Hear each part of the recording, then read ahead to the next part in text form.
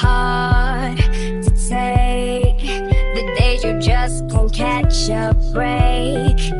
When it brings me down, I